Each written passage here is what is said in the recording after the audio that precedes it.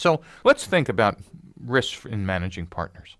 Well, the biggest one is what I call impedance mismatch. And again, I've been talking about this a couple of times in this lecture.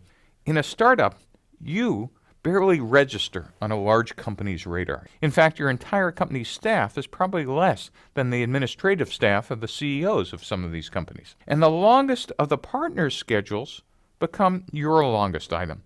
And what does that mean? Well, I've seen many times large companies say, well, we'll make that decision when we get to our planning meeting. And then you ask, well, when's the planning meeting? Oh, we have that quarterly. Well, quarterly, 90 days to startup is like, wow, we make decisions in an hour and a half. And so now all of a sudden, the longest of their meeting and decision schedules becomes your longest item. And if you're working like startups should, on an intense speed and tempo, they are now slowing you down.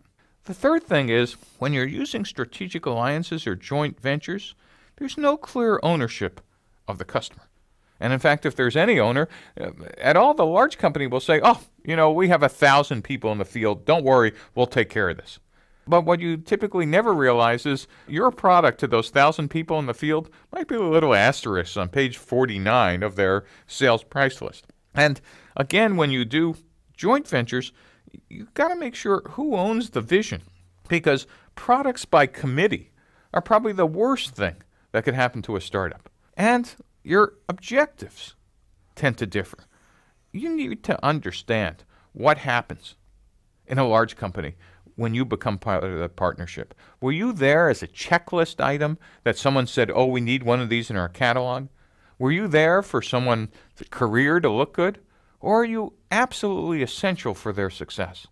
Don't confuse big name company being interested in you with a potential liquidity event most of these partnerships fail. And one that isn't intuitively obvious is that great person who you're dealing with in that large company, the odds are in 15 months they're no longer in that job. Because if their career is heading in the right direction, they're going to be promoted or moved to another job or another division or another location, and therefore the person who was passionate about your relationship is now gone. So if there's no underlying rationale, if there's no real what's in it for them, the churn in partners and strategies or personnel might put your company out of business and they'll never notice the difference. You were just a short term play for whoever was in the job. And if this wasn't important to their company, though it might have been essential to yours, that deal is over, even though you might have a contract. The other thing startups worry about is intellectual property issues. Typically, not much of an issue in the United States. Typically, a very, very, very more varies inserted here, important issue in dealing with China. Intellectual property and, and the uh, uh, rule of law for trade and trademarks and IP is not quite the same in the U.S. as it is in China, Russia, India, and other developing nations. You should make sure that you're not dealing with IP issues in these countries as you would in the U.S. Finally, these deals are difficult to unwind or end. This might have looked like a great idea when you were a struggling startup.